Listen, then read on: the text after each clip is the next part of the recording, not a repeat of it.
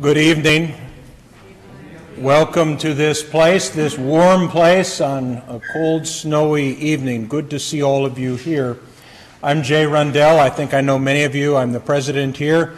Uh, but for those of you who might be here for the first time, welcome. We'll keep the introduction somewhat short tonight because many of you were here earlier as we got our start uh, earlier this afternoon. Uh, John Kampen will, Dr. John Kampen will be uh, giving a more formal introduction of our speaker for the evening. I would simply like to welcome you and express thanks on behalf of our community to the Williams family and those who have supported this lectureship for many years. Uh, Ron Williams was a member of the faculty uh, from 1971 until 1981, uh, died uh, a sudden death and was a, which became a loss to this community uh, which also elicited a response from the community that brought this lectureship uh, in, into being. In the last few years, we've had some additional support from the Williams family, and I'm grateful for that. Uh, Lee Williams was a small child uh, when he uh, grew up on this campus and has very clear memories of visiting scholars from afar who would come and engage his father and others in important ways. Uh, Lee is now a senior official in the Treasury Department and is uh, very interested in what we do here and particularly in this kind of event. So he has been very generous with us in recent years, and uh, I just want to express my gratitude to him and to that family and to this community for making this lectureship what it is. Dr. Kampen, would you come forward?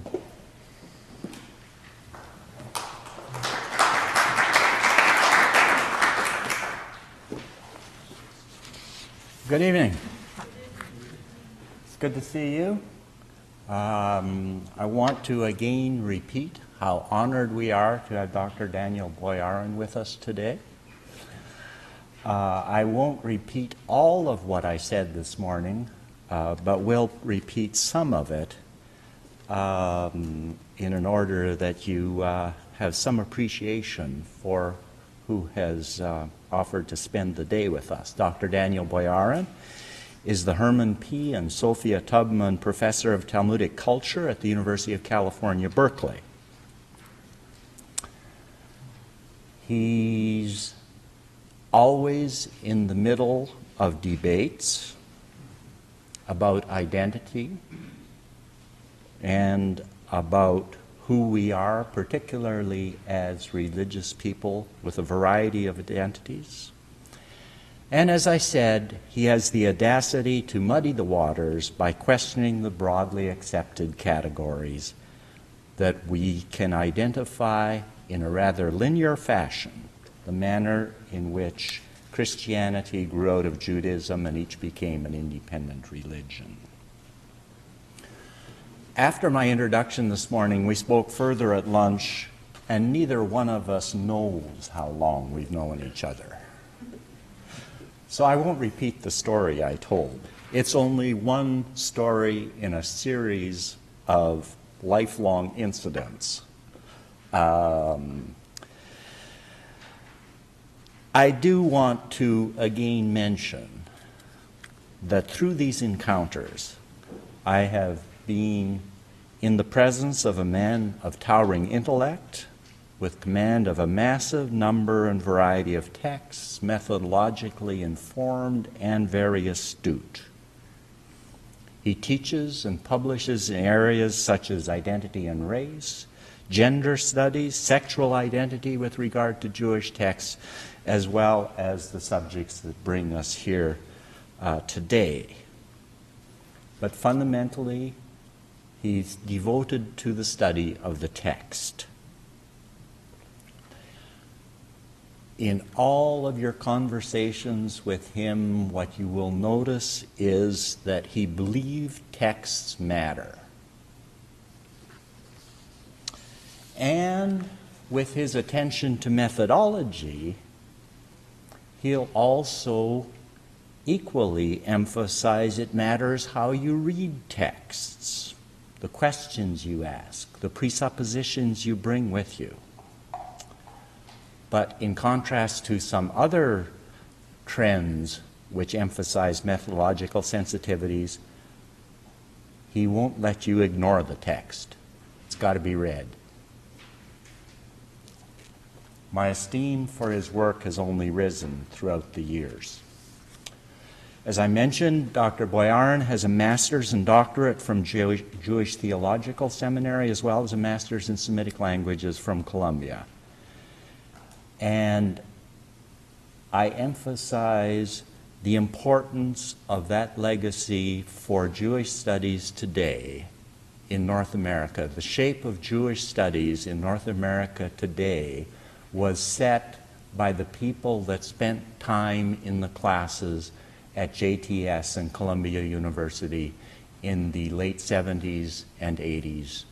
Uh, that's where what we know as Jewish studies really took form. And Dr. Boyarin was part of that pivotal group of students. Today, or uh, let me mention first of all that one of the ways he distinguished himself early on was through his uh, work on theories of redaction of the Babylonian Talmud. And today you'll hear references in academic meetings to the Berkeley School, the Berkeley approach to Near Eastern literature. That's the result of Dr. Boyarin's work. With Saul Lieberman, his teacher, he turned his attention also to Greek literature. And that's when he began to engage in depth with Christian texts that lead him to uh, do the kind of work that brings him to campus today. Because out of his work, suggesting that the formation of the Talmud and the culture and institutions that we know as Talmudic Judaism, that since they arose later than we used to believe, that they, in a sense, are a response to the growing Christianization of the Western world, rather than vice versa. So, when we talk about the Jewish backgrounds of the New Testament, we could also talk about the New Testament backgrounds of Judaism in an equal discussion. And so that's, that's the significance. That's the background that he brings to our work here and to the uh, uh, witnessed in the many books that, uh, that he has authored, including the ones listed on your, uh, on your program, as well as uh, the book that I particularly like, the title, and the book is very good also. I heard many of the lectures in the formation of that book, Socrates and the Fat Rabbis. Uh, many of the subjects that he's talking about today are covered uh, in a preliminary way in his The Jewish Gospels, the story of the Jewish Christ. And many of the subjects that we've talked about today are covered in that particular book. One other paid, paid kind of, um, not announcement, but um, explanation that here at Methesco we have developed a biblical studies program precisely out of the influence of people like Dr. Boyarin.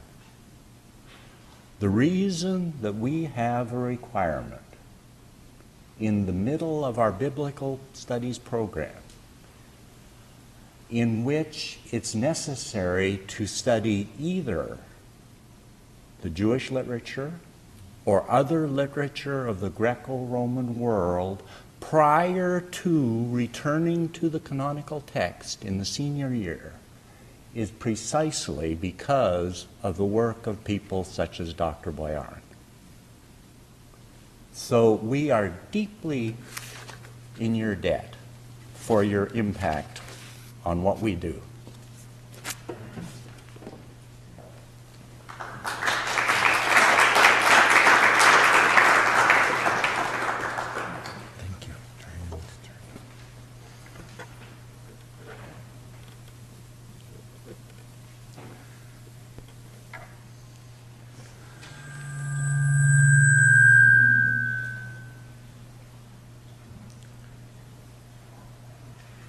Welcome? I guess so. Um, about 15 years ago, I taught for a semester at Harvard Divinity School. And uh, I was visiting professor of New Testament there for a semester. And I taught, the, gave a graduate seminar on the fourth gospel. So one of the students came up to me and said, How come in the Department of New Testament here at Harvard, no one is teaching canonical New Testament texts? And I said, Because canonical texts can be so boring. So she said to me, So how come you're teaching a canonical New Testament text? And I said, I'm not. I'm teaching a non canonical Jewish text. and that makes all the difference. Canons in general are a way of containing the most explosive texts and making sure that they don't do anything explosive. Right? Put them together in, in canons and we teach them canonically and contain their power. So, um, exploding canons is the way, one way to let the Logos free in the world. Right? Uh, somebody asked me this morning, one of the people who were at the Hebrews lecture this morning, I don't think he's here tonight, you know, went on and cited the next couple of verses about the power of God's word to explode things, right? To, to blow things open.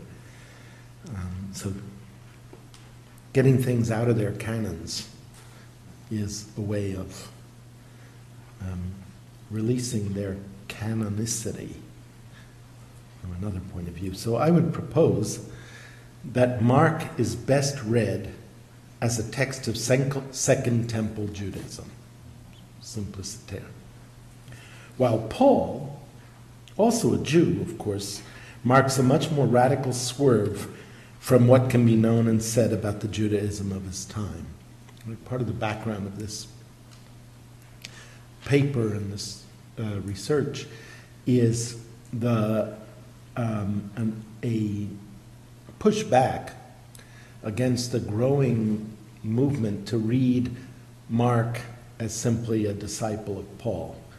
And I think the story is much, much more com- complicated than that. The old saw about Jesus not being a Christian because Paul hadn't invented Christianity yet has something to it. I would nonetheless modify this in two ways. First of all, I think Paul did not yet know that he was inventing Christianity either. And secondly, the decisive move that would lead to the invention of Christianity had not been taken in any of the Gospels, including Mark. Especially for the first Gospel, by which I mean Mark. I know that Matthew is usually described as the first gospel, but I think that historically speaking, um, m- most of the world would agree that Mark is the first gospel. And when I say the world, I, mean the people who read and think seriously about texts. The um, medieval Tosafot, the medieval commentary on on uh, medieval commentators on the Talmud will say, with respect to a certain line in the Talmud, the whole world, the whole world objects here. The whole world has a question about this passage, right? The whole world consisting probably of 500 people in. So that's my world too. Especially for the first gospel, Mark, I would claim that Jesus is portrayed as defending the Torah, that is Moses, and not attacking it in any way, shape, or form. This has enormous historical consequences precisely since now it seems almost clear that Mark is the first gospel. So, what is, it that, what is at the foundation moment, the founding moment of the gospel tradition? Is it an attack on Moses or a defense of Moses? And I want to say it's a defense of Moses. Many influential scholars, and Bultmann and his students prominently among them, have insisted on a Jesus who is as un Jewish as possible, explicit, explicitly articulating, articulating excuse me, a principle of dissimilarity, that's what they call it, where only that which is supposedly antithetical to the quote unquote Judaism of the time is taken as authentic words of Jesus. This interpretation of the evidence would have the effect of rendering any appearance of similarity with Judaism, as New Testament scholarship has imagined that quote unquote religion, the product of an early church that was a Judaizing church, especially in Matthew. While the original message of Jesus is the idea that over time became orthodox within the historical Christian churches to wit, that the law was abrogated by Jesus entirely and quite without concern for continuity with traditional Israelite Torah.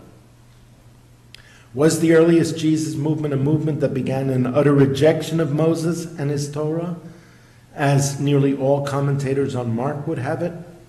Or was it something quite different?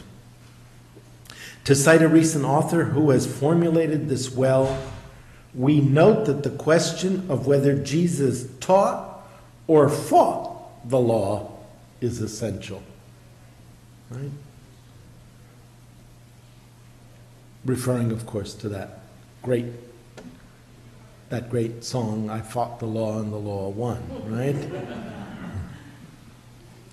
did Jesus was did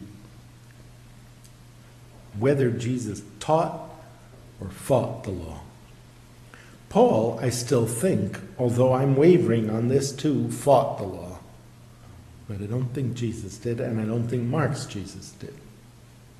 The example of Mark 7 15 to 19 is a telling one, and especially the unfortunate fate of 7 16.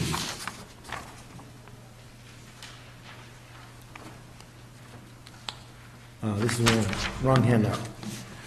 You all, do you have Mark 7 in front of you?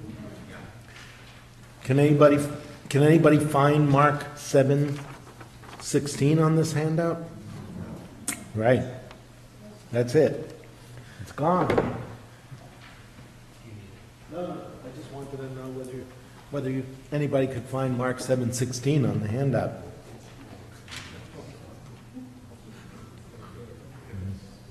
The example of Mark 7:15 to 19 is a telling one, and especially the unfortunate fate of 7:16, which read once before it was excised, if any man has have ears to hear, let him hear. As we shall presently see, as it were. I suggest that the elision of this verse is part of a project to convert the Gospel of Mark from a messianic Jewish to a Gentile Christian text. In this paper, I shall present my reading of this passage and then contrast it with what, with what seems at first glance to be a Pauline parallel. And then finally, by considering the place of Moses in 2 Corinthians 3, draw a decisive contrast between Mark and Paul with respect to their respective Moses, Moseses. Mark 7:16 is a phantom verse, lately honored more often by its absence than its presence. Its absence in two important early witnesses to the gospel has led to its near complete occlusion in modern texts and translations. You know how I discovered Mark 7:16? For years I'd been reading Mark 7 and talking about it and interpreting it and not even noticing that, that it went from 15 to 17. And then I went to one place to give a lecture, and I asked that they prepare a handout similar to, to um, today of Mark 7. And I did look at that handout, and in that, that place, it was in Britain, um, they prepared a handout from the AV, the King James Bible. And all of a sudden, there was a verse that I had never seen before. Thus, for instance, the NRSV. Then he called the crowd again and said to them, Listen to me, all of you, and understand. There is nothing outside a person that by going in can defile, but the things that come out are what defile. And then it says 16, and nothing. And then 17, when he had left the crowd and entered the house, his disciples asked him about the parable. In the AV, verse 16 was included. But nearly all translations since into English and all modern scholarly editions excise this verse. I will argue in this brief intervention that this stone spurned by the builders is indeed the cornerstone for understanding this passage, which is otherwise merely incoherent. And I will suggest as well that this reinterpretation is of major significance for understanding the Gospel of Mark and thus of the early history of the Jesus movement. The whole context of Mark 7 suggests that here Jesus speaks from the position of a traditional Galilean Jew whose community and traditional practices are being criticized and interfered with from outside, that is, from Jerusalem, by the Judeans, as is emphasized in the incipit of the story itself. Jesus accuses these Pharisees of introducing practices that are beyond what is written in the Torah or even against what is written in the Torah, and fights against their so called tradition of the elders, kataten paradosin ton presbyteron, which they take to be as important as the Torah, or sometimes, in the eyes of their opponents, such as Jesus, as uprooting or superseding the Torah. I would assert, moreover, that Jesus' Galilean disciples were following their own accepted traditional practice in their refusal of the non biblical notion that impure foods could render the body impure, and hence their refusal to wash their hands, to ritual, ritually wash their hands before eating. Jesus' disciples are upbraided by these upstarts from Jerusalem for not observing the purity structures that they had introduced and demanded on the basis of the traditions of the elders. Jesus responds vigorously, accusing them of hypocrisy and of ascribing a self importance to their own rulings and practices that is greater than that of the Torah. There is thus nothing in this passage, even in the Markan version, a fortiori in the Matthean version, that suggests that Jesus is calling for abandoning the Torah at all. The Galileans were antipathetic to the urban Judean Jerusalemite Pharisaic innovations. The great advantage of this interpretation, I think, from a purely exegetical point of view, is that the narrative remains coherent from its beginning to its end. Now, surely an interpretation that, that reads a a narrative text as making sense ought to be preferred to a reading that makes it incoherent. It begins with a controversy over a Pharisaic innovation, namely the washing of hands. It continues with Jesus' attack on the tradition of the elders, that set of practices and ideas that the Pharisees held and which were not in the written Torah, and the Pharisees admit that claiming that this is an alternative source of tradition, and which were the source of sharp controversy among Jews right through the Middle Ages. And ends with a rejection of an entire complex of Pharisaic stringency with regard to eating practices and purity that was the source of the requirement for that ritual hand, hand washing before eating. The development of Jesus' argument from hand washing to other purity practices to the allegedly Pharisaic innovation of vows that make one forbidden to care for one, one's parents, to a homily on the relative significance of pious practice and piety, is perfectly coherent on this account. and we need ascribe no editorial intervention, quilting, or felting of sources to make perfectly good sense of the argument of the chapter. As you see, I'm a biblical literalist and fundamentalist. No quilting or felting, quilting or felting. As I like to tell my students, especially when I'm teaching in Christian seminaries, I think that Jesus said everything that is ascribed to him.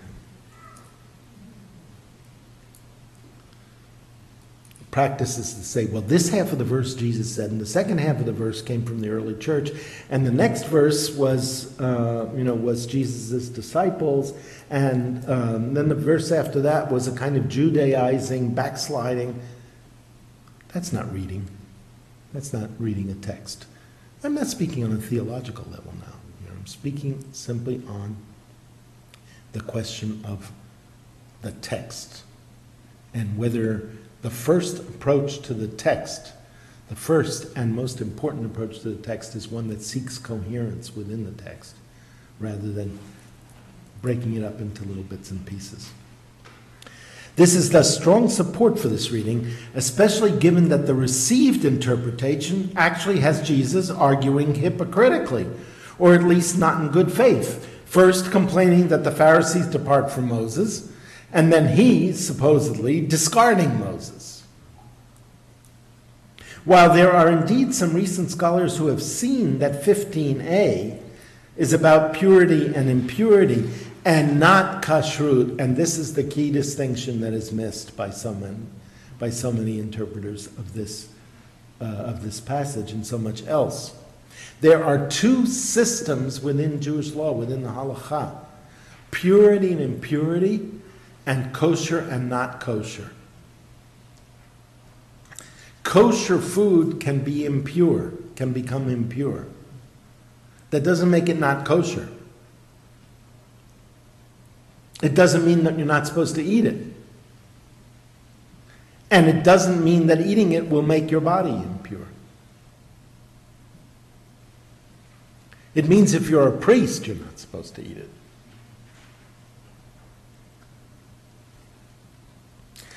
Virtually all of the modern commentators I've consulted take 15b to refer in its plain sense to something called moral impurity and not Levitical or ritual impurity. Thus, for instance, Collins, this is Adela Collins, who writes the not but formula in verse 15 indicates that moral purity is given a higher priority than ritual purity. Similarly, Robert Gundry, at the other end of the, of the country and uh, the um,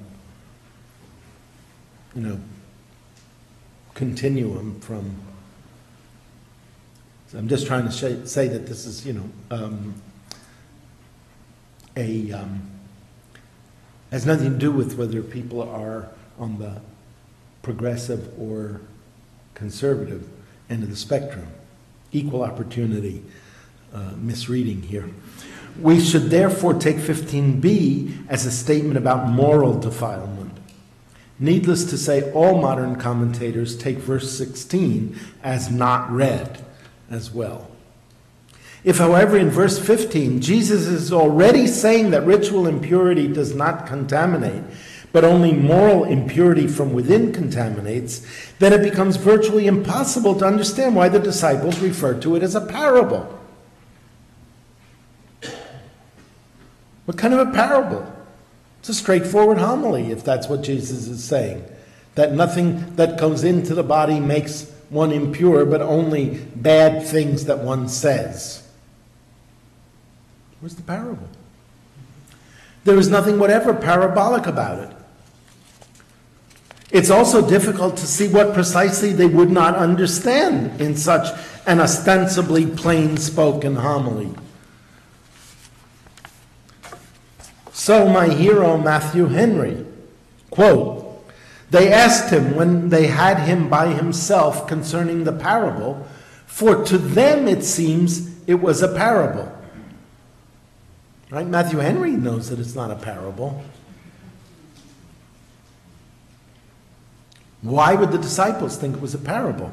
Now, I know that there's a commentatorial tradition that takes the disciples in Mark to be foolish, right? That that's a pretty strong tradition.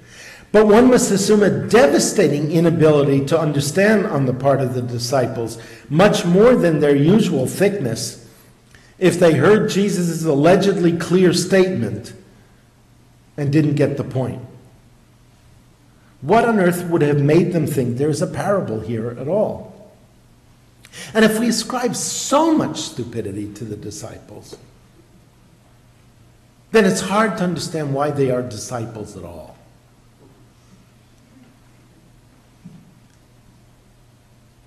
Right? It's one thing to say that it takes them a while to get Jesus' message, and that that's part of the drama of the gospel, right? That the, that the disciples had to learn to understand how, uh, how radical this messianic intervention was. But if they're incapable of hearing at all a simple homily, then who are they? I submit that it is only if we read verse 16 that we can understand what has happened in this anecdote. Jesus made a statement of literal halachic, not moral, not anagogical, not tropological nature in its plain sense. Because, guess what, friends? There is nothing mentioned in, the Torah that taken into the body makes the body impure. What makes the body impure? Things that come out of the body blood, semen, gonorrheic fluxes. That's what makes a body impure. But Jesus then signified that this halachic statement that uh, his disciples would perfectly well understand because it was absolutely good, good and well known scriptural rule from Leviticus he signified that it was a parable by using the formula, let him who has ears hear. Once Jesus said, let him who has ears hear, then everybody would know that's a parable because that's what Jesus says after saying parables. But all he had said up to that point was straightforward Leviticus law. It is precisely the declaration of verse 16 that so mystifies the disciples. They have heard a simple and, as we shall see in a moment, quite accurate statement of the Torah against the Pharisees' alleged distortions of same. But then they have been informed that it, i.e., the law itself, is a parable. And it is that that they don't get. Without verse 16, they would have been not at all puzzled or troubled at Jesus' intervention. They would have had no reason to be. Arguing against the Pharisees, Jesus says there's nothing that goes into the mouth that makes a body impure. It's true. So why you why you uh, uh, as we would say in Yiddish, hacking us a chinik, right? Why are you making trouble for us and telling us we've got to wash our hands before we eat? I mean, we've got to have clean hands, to, but that's just hygiene. But why do we have to do this, you know, fancy stuff. But then Jesus would not have conveyed his message. But his message is that the punctilious and correct observance of what the Torah actually says is what is necessary for us to understand its deeper significance. Let those who have ears hear. Now, I've recently interpreted the actual halachic issue here at some length in, in, in, in the chapter of uh, the Jewish Gospels to which um, uh, Dr. Kampen referred, referring as well to an article published by Yair Furstenberg on the subject, so I will only quickly summarize the point here. According to the written Torah, it is indeed the case that foods that are impure, that is, which have been in contact with dead bodies or touched by people with various fluxes from the body or on which insects have fallen do not render the body impure. Impurity is conveyed upon a human body only through things that come out genital blood, semen, and gonorrheal fluxes. It is therefore only the Pharisaic tradition that showed concern for the purity of food, by requiring ablutions before eating, suggesting that the food could, bum- could become impure and render, render the body impure as well. Jesus, thus, appropriately for the context of the pericope as a whole, in verse 15, is still continuing his theme of Pharisaic distortions that interfere with or contradict the plain meaning of the Torah. And it fits perfectly with what he says afterwards that the Torah says you've got to feed your mother and father, and anyone who doesn't feed their mother and father is cursing. But you, Pharisees, you say that someone can take a vow and then not have to feed or even be forbidden to feed the father and the mother. So, what is this about your tradition, your so called tradition of the elders, that gives you the right to contradict Moses, to supersede Moses? But he informs them and us also that the plain meaning of the purity practice enjoyed by, enjoined by Scripture has a deeper symbolic interpretation, a tropological reading, by telling us, let those who have ears hear. If you distort and change the practice of the law, you will not understand its inner meaning either. A parable, by definition, has a literal and a figurative side. If Jesus talks about a vineyard, but he means the kingdom of heaven, that is a parable. Consequently, if we have here a parable, it must too have a literal and a figurative side. If when Jesus said it, said it is not what goes in that makes one impure, but only that which goes out, if already when he said that he was not declaring a literal fact, a fact of the Torah, but instead just making the moral point directly, then there would be no parable at all here, just a sermon. That this point has been thoroughly missed by scholarly commentators is shown by the multiple approving citation of Westerholm's comment that 715 means that a person is not so much defiled, not so much defiled, but by that which enters him from outside, as he is by that which comes from within. Right? Not so much. Others argue against Westerholm's suggestion and say that Jesus meant to reject purity practices entirely. But all such discussion is actually odious once we understand that Jesus is simply offering the true literal law of Moses, which has an absolute binary opposition between that which goes in and doesn't defile, and that which comes out of the body, the lower parts of the body, and does defile. Only that which comes, comes out defiles the body, not that which goes in. Henry, writing in the 17th century, got the point.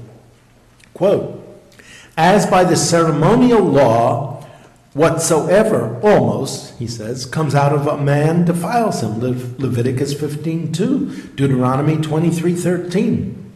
So that which comes out from the mind of a man is that which defiles him before God and calls for a religious washing. Right? The literal signifies the tropological, the moral. But without the literal, without the li- literal understanding of the law, you miss the moral significance. That's, that's Jesus' argument. Not that uh, the, the moral significance um, erases the literal law. Jesus is making an argument here in my reading very similar to Philo's. Philo says there are some people who say, since the law has an allegorical sense, we can skip the, the, the, the literal and uh, practice and go straight to the allegorical sense. And Philo says if you don't practice the literal, you mm, ultimately lose the allegorical also. Jesus asserts the law and then offers it up for a parabolic interpretation, as signified by let him who has ears hear. The disciples recognized through this phrase that a parable had been delivered. That is, they understood that the statement was literal and that there was a figurative second meaning, but they could not discern that meaning on their own. They did not understand the parable. I submit that this is the only reading in both senses, senses that renders this sequence of verses intelligible. The disciples were puzzled because they heard their rabbi making a straightforward point about the law, the literal side of the parable, but didn't understand why he signifies that this was a parable. They caught the literal sense but needed help with the figure. And then Jesus answers them. Why does the Torah only render impure that which comes out, not that which goes in? If not to teach us something, namely that matters of the heart that are externalized in evil behavior also convey moral impurity.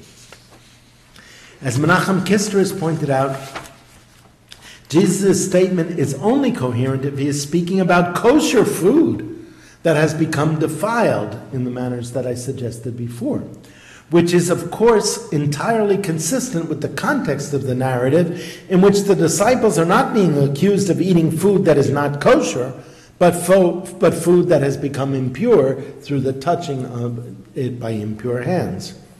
And it is that impurity that Jesus declares invalid, not the distinction between kosher and non kosher. In direct contradiction to the Pharisaic innovation of washing hands to prevent food from becoming impure, Jesus says you may eat kosher food, whether or not it has become defiled and impure, and you will not become thus impure, just as the written Torah literally teaches. But this has absolutely nothing to do with abrogating the law at all.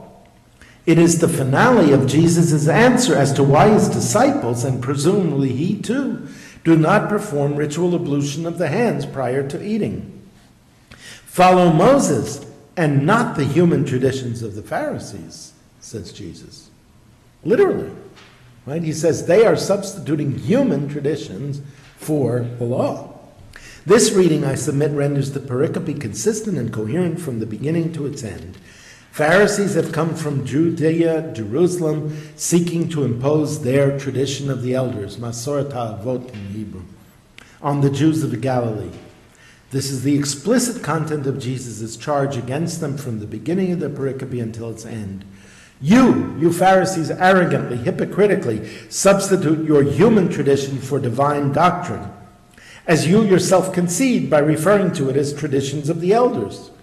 Jesus not only angrily rejects their arrogant attempt to replace the written Torah with traditions of human origin, but also explains why this is so dangerous, dangerous a practice for the anagogical meaning goes entirely awry. Right? The whole point of the law is to teach us the impurity that is conveyed by evil thoughts and evil speech. But it can only teach us that if we understand and practice the literal meaning that that which comes out of the body makes the body impure and not that which goes in. The Pharisaic attempt to add to the Torah in order to protect its rules end up, ends up subverting God's intent as expressed in the Torah. No abrogation of the law is thus comprehended here. I take this conclusion to be virtually incontrovertible as a straightforward reading of the text as we have it. What, however, a voice will ask at this point, you'd all be shouting it if you weren't polite is to be done with verse 19c, and thus he purified all foods. Katarizon pantata bromata. I would assert as a matter of principle that it would be a bad reading practice to allow one admittedly difficult and syntactically awkward phrase in the entire passage, not to say the entire corpus, control our reading of that passage and render that which is coherent incoherent. Following this principle, I will offer three different explanations for the, for the verse set, for that fragment of the verse. The most obvious way to deal with this problem, and perhaps in the end the most valid, would be simply to remark that verse 19c is a gloss in the text. Verse 19c is a strange plant here one that interrupts and disrupts the logic of the dispute and, the, and its development, renders Jesus a hypocrite, accusing the Pharisees of departing from Moses when he himself is about to completely abrogate Moses himself, and moreover concludes with a total non sequitur. It would hardly be a stretch to consider it a gloss that was added by a Gentile Christian voice committed to the notion of a dominical permission to eat all foods. I need not argue whether Mark was the one who added this strange gloss or not, but if some Mark or other, then surely not the Mark who authored the entire perfectly coherent, consistent, and logical discourse of Jesus in the whole pericope. In other words, if one claims that this is a Markan gloss, then would have to concede that the bulk of Mark was not written by Mark. And Mark contradicts the bulk of Mark.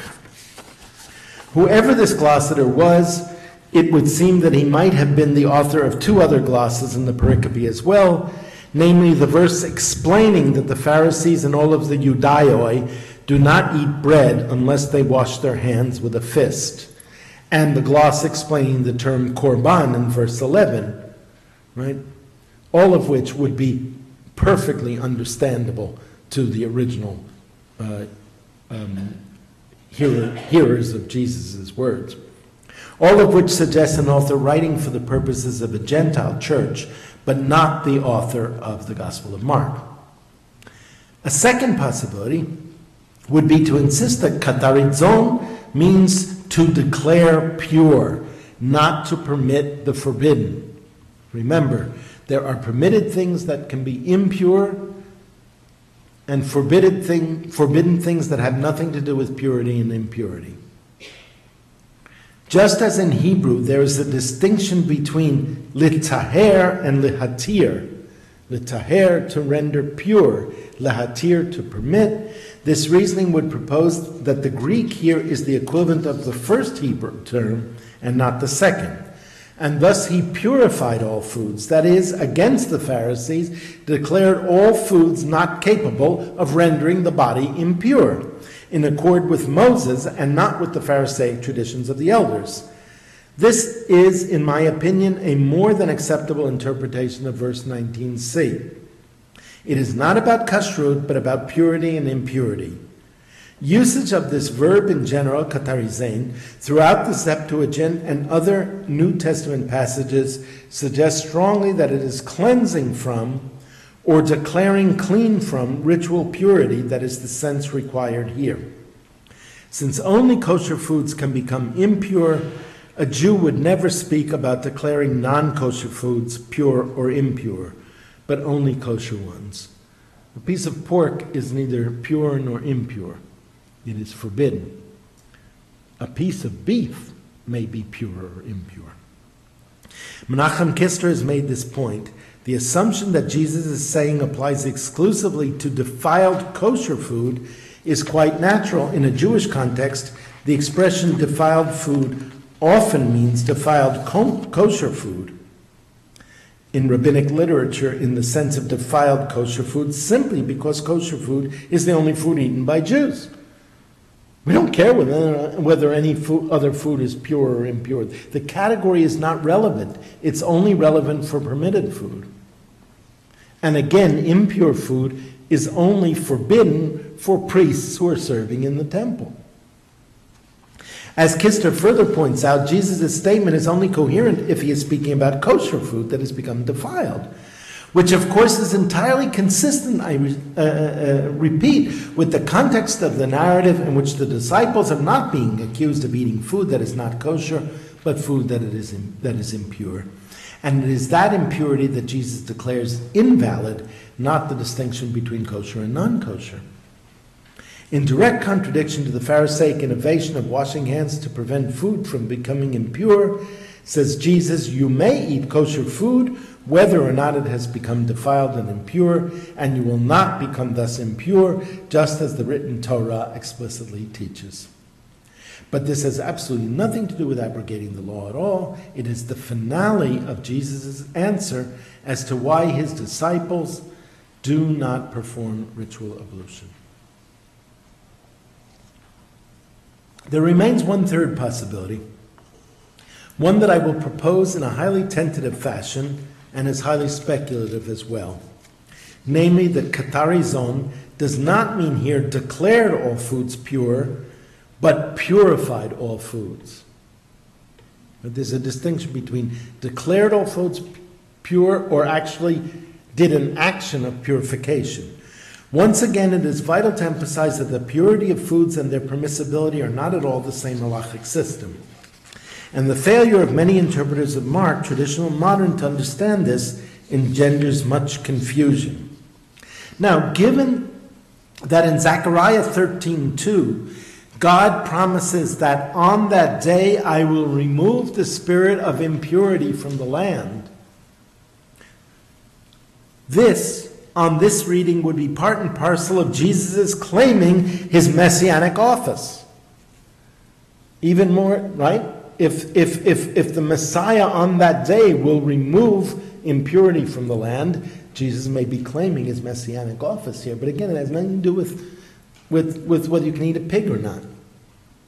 Even more explicitly, in the same prophet at 14, 20, and 21, we read, On that day there shall be inscribed on the bells of the horses, Holy to the Lord, and the cooking pots in the house of the Lord shall be as holy as the bowls in front of the altar. And every cooking pot in Jerusalem and Judea shall be sacred to the Lord of hosts, so that all who sacrifice may come and use them to boil the flesh of the sacrifice and there shall no longer be traitors in the house of the Lord of hosts on that day.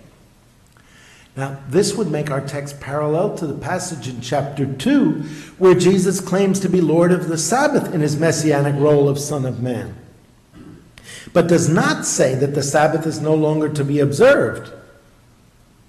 Right? Even there, when he says I'm, that, that I, as the Son of Man, am Lord of the Sabbath, he doesn't say, and now there is no more Sabbath.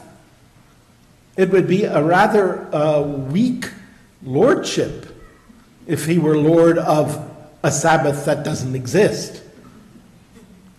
My inclination now is toward the first explanation, the text critical one, but this I assert strongly in any case an interpretation that takes 19c at face value as indicating that the point of the pericope is to explain Jesus' total abrogation of food prohibitions is forced to engage in much more special pleading than the perhaps somewhat forced readings I've suggested here for 19c. Right? I rather like the third one. There are other powerful arguments that Jesus was not understood in any quarter of the earliest church as having abrogating, abrogated the rules of kashrut. Neither of the other synoptics understand him thus, nor did the disciples in Acts who entered into the agreement on foods, nor those Christian martyrs of Lyon who bought their kosher meat from Jews, according to Eusebius. Right? And this is like uh, a century later, more than a century later. Moreover, Origen himself read the entire controversy as being about Pharisaic innovation and not an alleged dominical uh, abrogation of the law of Moses. As remarked by Svartvik, it is important to Origen that the Pharisees and the scribes accuse the disciples before their teacher for transgressing not a commandment of God, but only one tra- tradition of the Jewish elders. Svartvik goes on in the next several pages of his book to demonstrate that according to Origen, it is only in apostolic times after the death and resurrection of Jesus that the kashrut laws were abrogated. That it is, is that it is, it, it is only the suffering of Jesus on the cross that redeemed even the disciples from the curse of the law.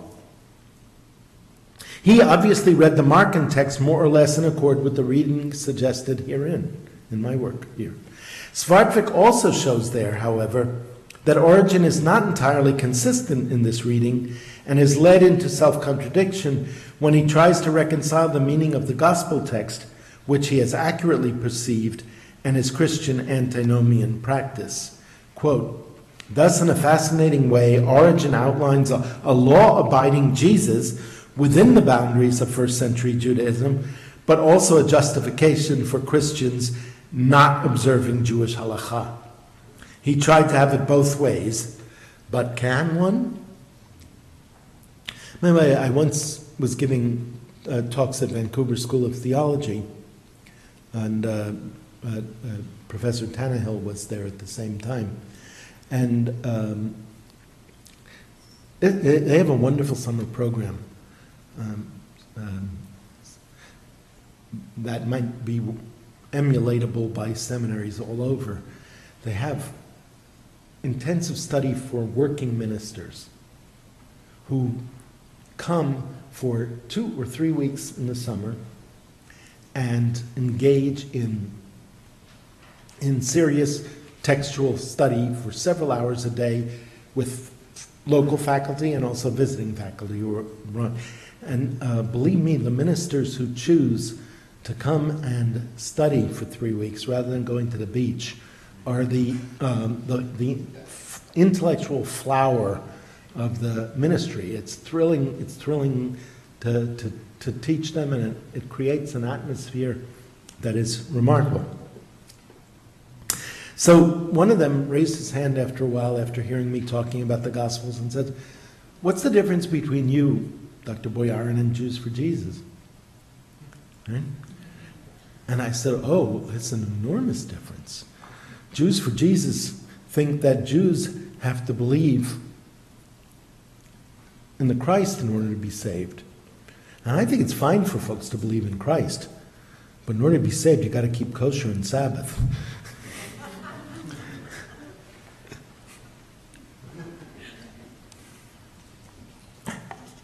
Perhaps, however, one of the most interesting ancient testimonia for a literal reading of the parable prior to its figurative resolution comes from Athanasius.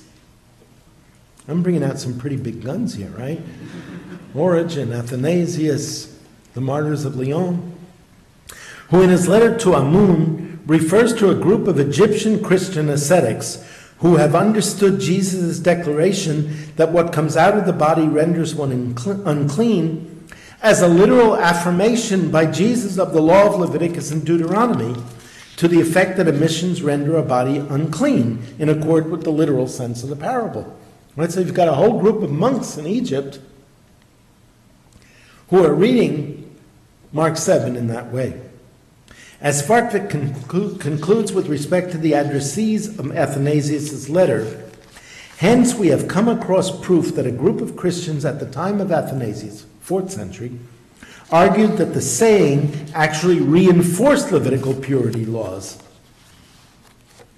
In Leviticus 15 and 16, words for going out are actually being used, yatsa in Hebrew, and uh, exer chestai, chestai.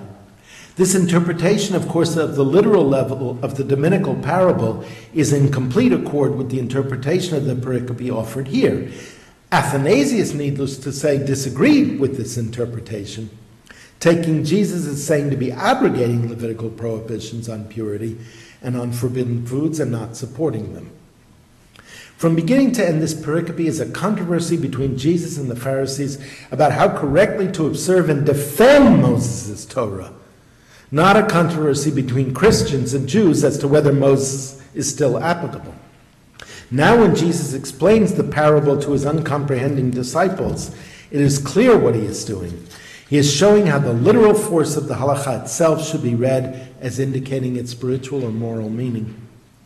Indeed, it is not what goes into the mouth that renders one impure, but the impure intentions of a heart, as signified by the halachic fact that things that go out of the body cause impurity. Right, what we have here really is, um, I think, um, a, a Jesus who is much more alive than in the traditional reading to the significance of embodied piety, of embodied practice. Right? It, it, it's not.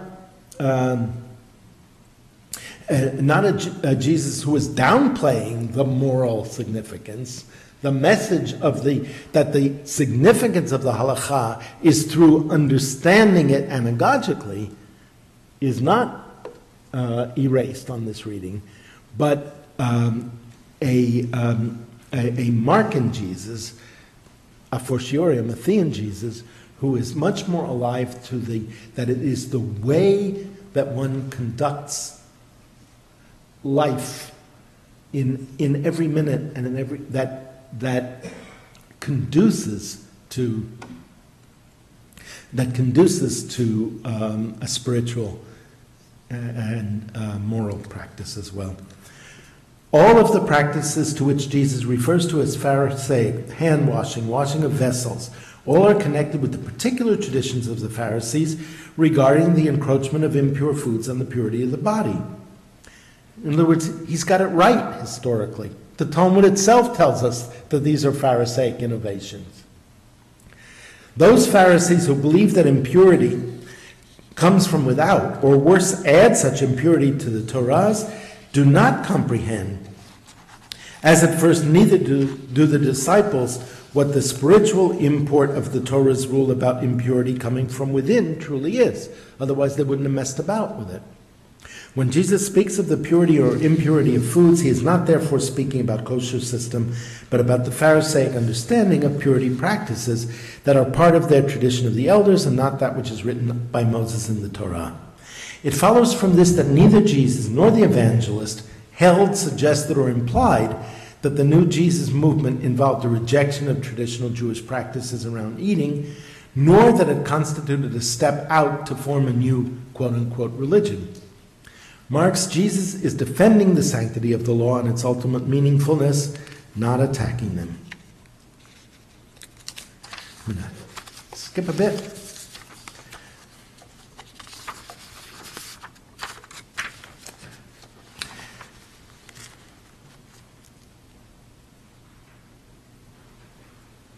Jesus, on this interpretation, would be countering the Pharisees' extensions of the law with an argument from Moses, precisely and in good faith, just as his argument against the Pharisees vis a vis the feed, feeding of parents is from Moses and not against Moses.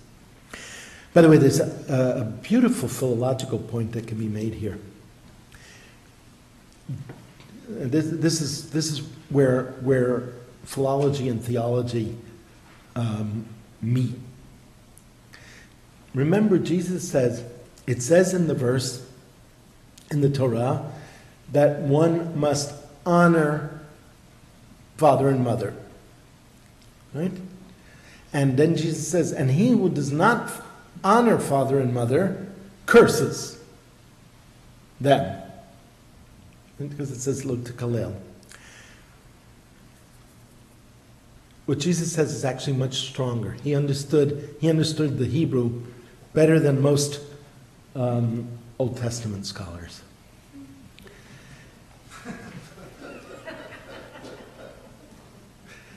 Well, it was his native language, you know. The way we say honor is lichabed. Lichabed literally means to make heavy, right? To treat parents with gravitas, to make, make heavy.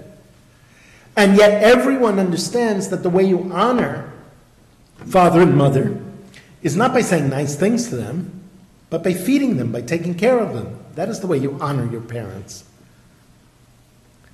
Now, the verse that we usually translate curse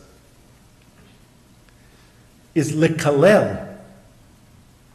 Likalel means to make light. It's the opposite of lichabed. So Jesus correctly understands, I think correctly understands it to mean the opposite of lichabed. If lichabed, to make heavy, is to feed, then not to feed is likalel. And that's the point of, the, of, of, of, of Jesus' homily there, right? So, how can you Pharisees say that it's okay to make a vow not to feed your parents and then you, and, and then you don't feed them when the Torah says that this is cursing them, likalel?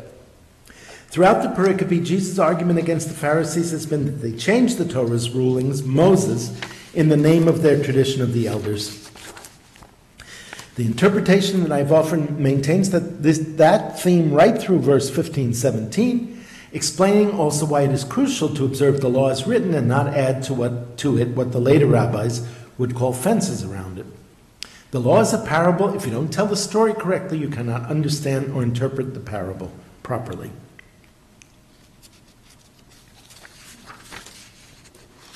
Now, according to this reading, the import of the Markan passage is substantially the same as the arguably more explicit parallel in Matthew 15. You don't have it on the handout, but you all know it, so I'll read it out loud and you'll recognize it.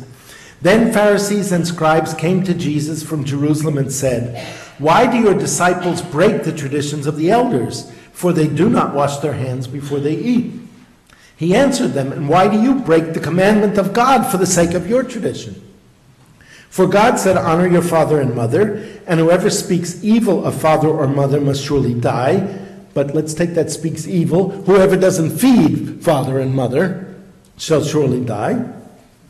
But you say that whoever tells father or mother, whatever support you might, had, might have had from me is given to God, then that person need not honor the father. So, for the sake of your tradition, you make void the word of God. Right? And this is what Jesus is saying here. Is it possible to imagine that three lines later he's going to make void the word of God? You hypocrites! Isaiah prophesied rightly about you when he said, This people honors me with their lips, but their hearts are far from me. In vain do they worship me, teaching human precepts as doctrines. You see how precise his reading of, of Isaiah is there. That's what they're doing. They're teaching human precepts as, doc, as doctrines from the Torah. Now, of course, I'm not giving the Pharisees' side in the argument here. They have an argument back. But that's not what interests me right now. Then he called the crowd to him and said to them, Listen and understand, it is not what goes into the mouth that defiles a person, but it is what comes out of the mouth that defiles, referring back to the washing of the hands. Then the disciples approached and said, Do you know that the Pharisees took offense when they heard what you said? He answered, Every plant that my heavenly Father has not planted will be uprooted. He doesn't say, I come to uproot what my heavenly Father has planted. Let them alone. They are blind guides of the blind. And if one blind person guides another, both will fall into a pit. But Peter said to him, Explain this parable to us. Then he said, are you, are you also still without understanding? Do you not see that whatever goes into the mouth enters the stomach and goes out into the sewer? But what comes out of the mouth proceeds from the heart, and this is what defiles. For out of the heart come evil intentions, murder, adultery, fornication, theft, false witness, slander. And then listen to what he says. These are what defile a person. But to eat with unwashed hands does not defile. There is no reason to make, I'm not, you know, I'm not a great harmonizer, but there is no reason to make Mark and Matthew um, antithetical to each other. If we read Mark carefully, it's the same story as we find in Matthew. It will be seen that given my interpretation of Mark 7, the Matthean version is a close match for it. Here there may be no question at all that the issue is purity rules, the washing of hands, and nothing else. Jesus explicitly concludes these are what defile a person, but to eat with unwashed hands does not defile. In one respect, however, on the reading offered here, the reading of Mark is superior to the reading of Matthew. For by substituting what comes out of the mouth for what comes out of the person, Matthew has obscured the parable. One would imagine not deliberately, but through his own misunderstanding, because it is not things that come out of the mouth that make impure, but actually things that come out of the genitals. If my interpretation of Mark is acceptable, however, even that tampering has not succeeded in eradicating its meaning for those who have ears to hear. It is historically perverse, in my view, to assume that the Mark before Matthew incorporated a dominical rejection of the food laws of the Torah, which Matthew then neutralized for his own quote unquote Judaizing purposes. Just saying it this way indicates, I think, how tendentious such a position is, how predetermined by later Christian theology, itself inflected by Paul. The historical stakes are high. Robert Gundry writes openly that since Mark's is the earliest Palestinian witness to Jesus, Mark, our earliest gospel, I'm quoting him, offers a more reliable standard, and it says that Jesus abrogated laws of food and purity and violated the Sabbath. Right? So you get a sense of what's at stake here.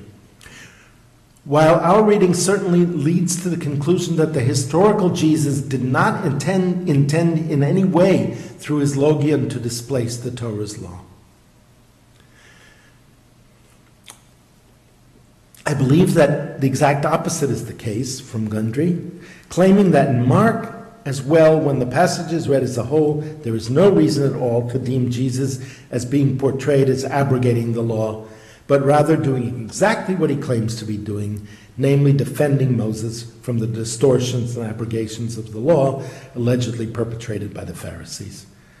This is in Mark Jesus and Moses allied against the Pharisees, not as in Paul, Jesus against Moses in any way, shape, or form. I'm referring to the passage in Corinthians.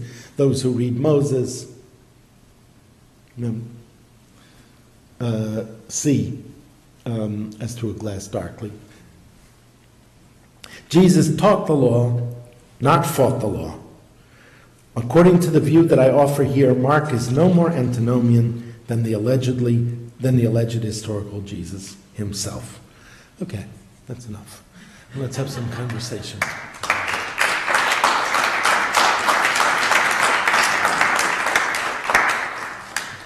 Can you take questions? Sure. We'll take questions. You may want to be brief. uh, In your honor, we've uh, prepared some things in the gallery to weigh you down. Things to eat. What, what might uh, someone have? Yes. So do you think today that the Torah is applicable to Christians? Yes. I mean, uh, it- it's, that's histo- historically ridiculous, of course, because it would be impossible to imagine. Um, uh, but uh, insofar, insofar,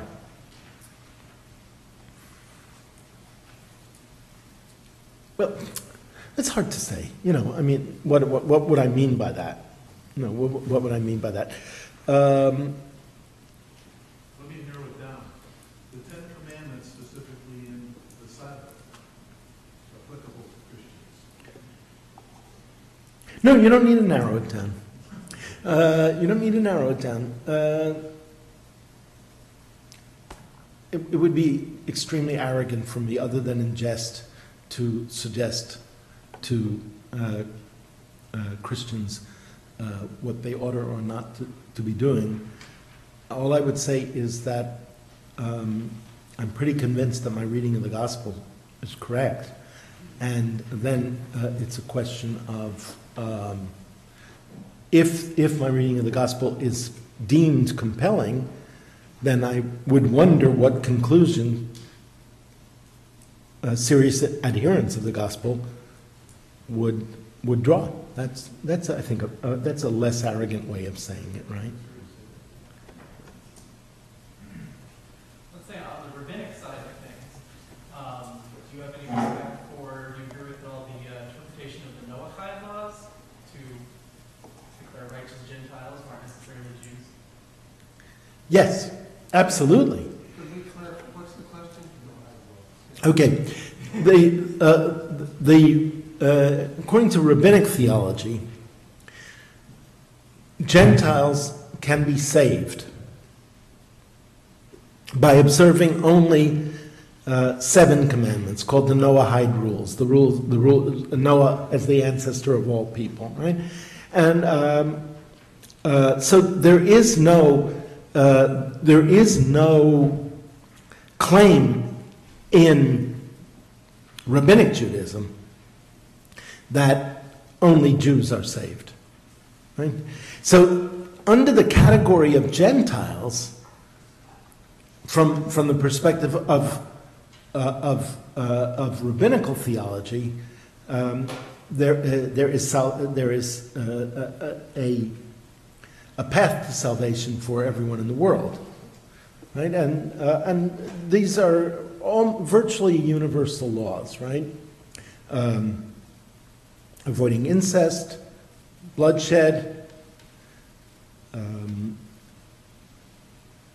tearing limbs off living animals to eat them, having legal system. Um, you know, a, a fairly straightforward, uh, a- accessible laws. Insofar as Gentiles want to claim that they are not Gentiles, but adherents of the gospel, that's when the question would come up, right? And, and that would come up not for Jews, but for, but for Christians. right? It's not my, it's not my problem, right? Yeah.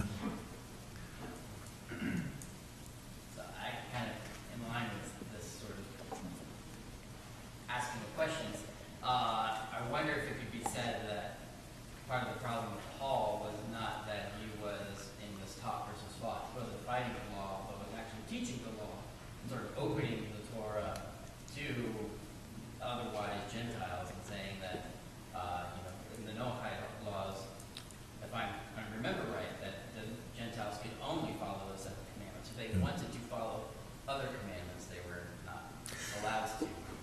Or simply. Well, it's more, it's more complicated than that.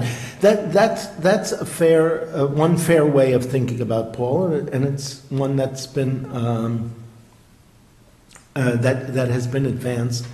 Um, but, uh, uh, uh, I'm not yet convinced of it, but as I hinted, I, I'm on the way, I'm on the way to, uh, to being convinced by that also.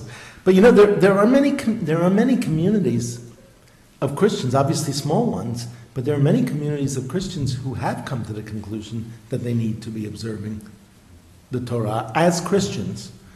Um, I had a neighbor. I had a neighbor in uh, in Berkeley from the South, and she told me once that her mother had joined one of those churches, and she says, "Now it's just one holiday after another. it's, it's Christmas and Hanukkah and Easter and Passover. My mother never gets out of the kitchen anymore." Jesus said, I come destroy the law. Right. Come destroy. Yeah. One jot or Yeah, see, but but the, the people say, well, that's that's in Matthew, right? In Matthew's that sort of backsliding, backsliding Judaizing uh, uh, uh, gospel. That itself, that itself is a problem, I would think. You know, in terms of a Christian theology, it's one of the gospels. So to sort of, you know, uh, um, uh, marginalize it uh, on its own would would. Um, would be perhaps troubling. But you know, we've got our own problems too. Uh, we um, allow the selling of leaven in our possession before Passover to Gentiles, right? You get it out of your house or contain it, and then it says that you're not, you're not allowed to have any, any leaven on on Passover, uh, and any that you have has to be destroyed. Right? So, people not wanting to destroy stocks of food and drink, um, we've developed the custom, somewhat dubious from some points of view, of selling our leaven uh, and then buying it back right after Passover. Well, um, I used to live in a town in Israel called Omer, in the Negev. And one year I forgot to sell my leaven. And here it is, one hour before Passover. And if I don't sell my leaven, I'm going to have to pour out several bottles of single malt scotch. so, how am I going to solve this problem? Well, uh, no, he wasn't around, but across, right, across the street, there was a Christian family. But they were Christians who were observers of the law. Now, from my benighted position, I saw Gentiles. Right? This is, um, this is a, a I'm, I'm revealing my sin here today. So I went across the street and I said, um, you know, I forgot to sell my, my, my leaven, um, and, and I'm going to have to waste, you know, $500 worth of whiskey if I don't sell it to a Gentile. Um, can I sell, sell you my uh, lemon? The gentleman across the street said, I've burnt all of mine. I suggest you do the same. And that was a, you know, that was a, a moment of recognition, not so much about selling leaven. I, I continue to do that, it's the tradition and we do it. But of the um, necessity, from my perspective, to not simply look at the world outside of the Jewish people as the Gentiles, right? And as such, and, and, and as such, it is conceivable for me to say, well, if you if you don't consider yourself Gentiles, and and say that the the book of the God of Israel and the Gospels make claim on you, then, then it's conceivable that um, this kind of interpretation, to the extent that it's, that it's convincing, right? It may not be convincing, but to the extent that it's convincing, I would see that it, that it would make, some- make some trouble. You know, make some trouble. Anyway, if you decide to make the, um, the kitchen kosher here, um, I'll be glad to be the supervisor of the, you know, I can write, retire in style to um, Ohio and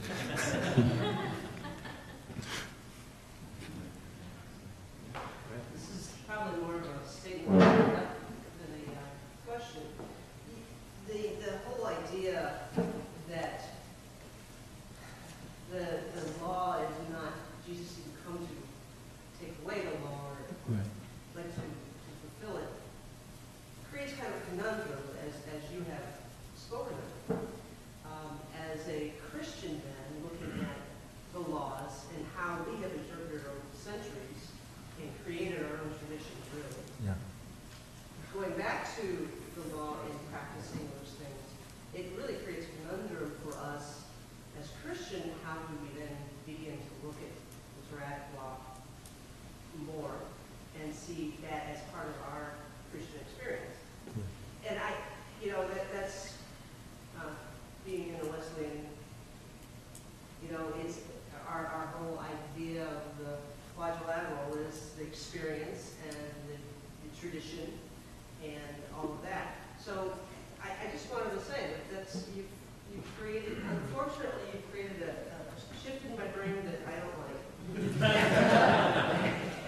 No, I understand that. You know, um, um, making people uncomfortable is part of my stock in trade. You know, and I, uh, but but I'm but I'm fair. You know, when they, um, the Jewish Studies program came under attack at Berkeley, and in fact was dismantled finally. And one of the charges against the Jewish Studies program, the graduate program in Jewish Studies at Berkeley, was that we don't contribute to making Jewish stu- students feel more comfortable on campus, which, to my mind, just uh, is indicative of, of, the, uh, of a kind of contempt for Jewish studies as an academic discipline, right? They think of us as some sort of an, an arm of Hillel or something.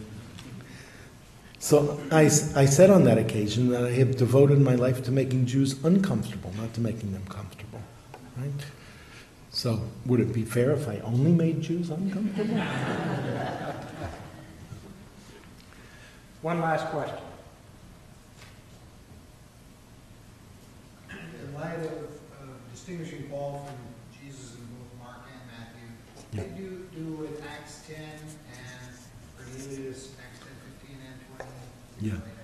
Yeah. Um, How do you deal with that? Uh, yeah, I, I mean, I, I obviously can't go into detail. It would take it would take an analysis as long as this, but uh, but uh, I, I- think read carefully, that is no more about actually abrogating uh, the Torah than than than um, the Markan passage.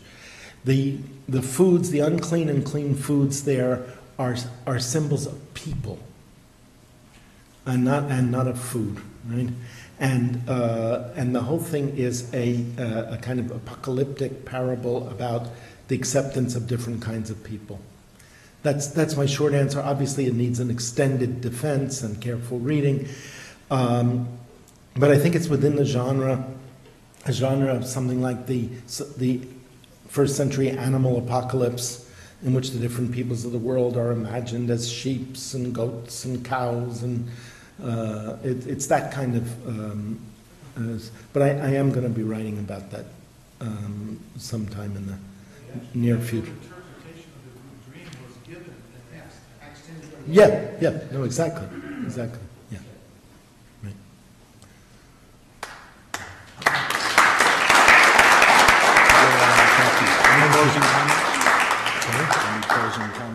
Oh, uh, I- I'm asked if I have any closing comments, and my closing comment is that it has been a, for me, a simply delightful day, um, meeting and engaging with such um, s- serious and engaged folk, and um, who understand that, as John put it, that reading of books is not, the reading of texts is not a, um, a an arid or purely antiquarian or scholarly enterprise, but um, one, one of the most um, vital activities that we can engage in as human beings. So I, I wish you all well.